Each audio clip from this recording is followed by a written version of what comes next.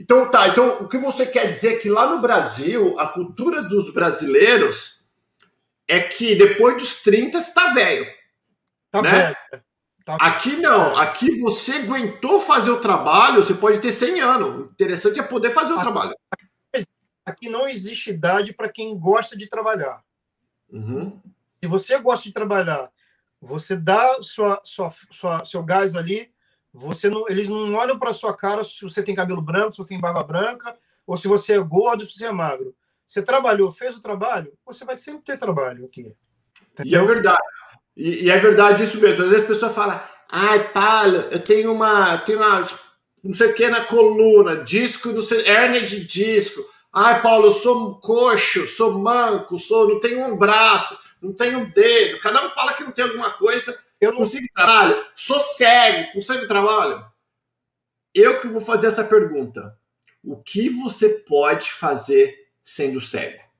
Ah, eu posso fazer isso, isso, isso. Então tem trabalho, velho. O que você pode fazer sendo manco? Você não pode sair correndo, né? Sair com uma, com uma perna só.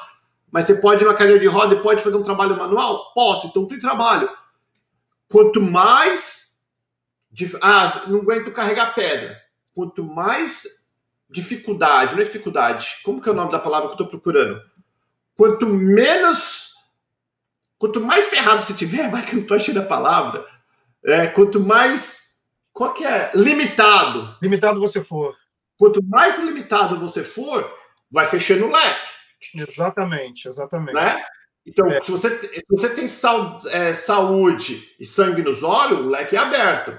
Se você, tem, se você não tem uma perna, todos os trabalhos que você precisa sair correndo, não dá. Se você não tem o braço, se tiver que carregar coisa, esse tipo de trabalho não dá. Mas existe outros trabalhos, é como o Fabrício falou.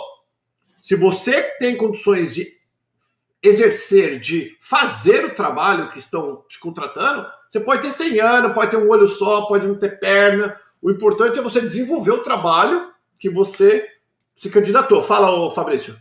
Eu tenho amigos aqui é, que trabalham na madeira, né?